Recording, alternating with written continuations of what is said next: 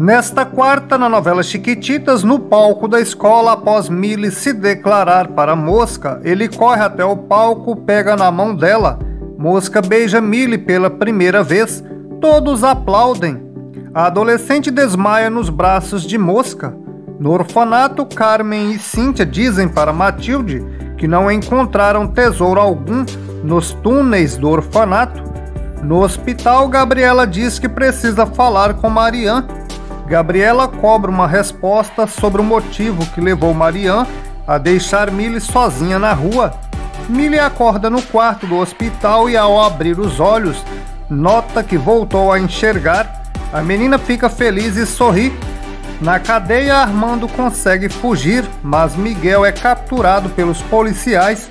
Miguel joga a carta para Armando e pede para que ele a entregue para Gabi. Fernando chama Gabriela até o quarto do hospital, onde Millie conta que voltou a ver. Carmen diz para Marianne que nada justifica deixar uma menina cega sozinha na rua. Tiago vence o concurso de talentos da escola. Cíntia consegue fazer Teca conversar com ela. Helena questiona Neco sobre a fita rosa no cabelo dele. Neco diz que achou por aí Helena pede a fita, mas Neco responde que não está com ele. Millie diz para Gabi que não foi um mal entendido o que aconteceu com ela. Millie diz que quer voltar para o orfanato, pois não quer dividir o quarto com Marianne.